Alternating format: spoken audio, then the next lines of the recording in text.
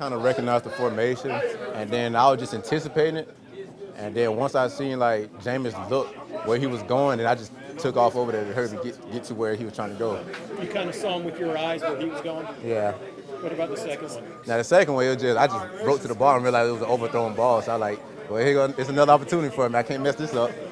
Jim, Jamel, uh, how did the scuffle there? How much did that galvanize you guys and get y'all going? Because the game changed after that. After that. Well, you know, like it's all, we always knew that it was going to be a defensive game, so it was always which defense is going to create the most turnovers, and then apparently we got the edge on their on their defense. So like that's all. The, that's like the biggest thing for like creating turnovers, like giving our, giving our offense another opportunity to score score points. You never want to see a guy get thrown out of the game, right? What does it say about Mike just coming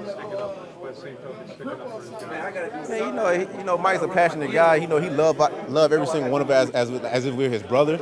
So he just show that he gonna always be there for us.